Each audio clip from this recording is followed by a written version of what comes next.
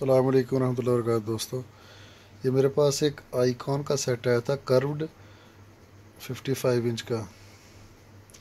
اور اس کی ابھی ای ایم ایم سی میں ریڈ کر رہا ہوں۔ کافی محنت کے بعد اس کے جو پوائنٹ ٹریس آؤٹ ہوئے ہیں یہ بورڈ کا نمبر ہے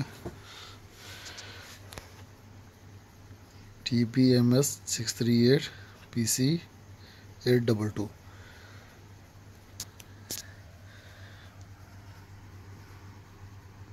الحمدللہ تھرٹی پرسنٹ ہو گئی ہے۔ انشاءاللہ جلد یہ کمپلیٹ ہو جائے گی۔ یہ شاید میں سیو نہ کرتا، لیکن میرے پاس ایک کرو سیٹ پڑا ہوا ہے، تو اس کا سافٹ ویئر مجھے نہیں مل رہا۔ وہ بورڈ بھی ہو رہا ہے۔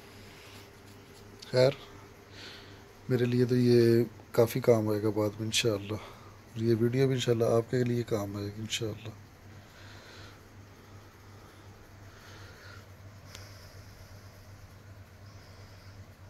اوکے دوستو، امید ہے یہ ویڈیو پسند آئے گی آپ کو۔ السلام علیکم ورحمۃ اللہ وبرکاتہ۔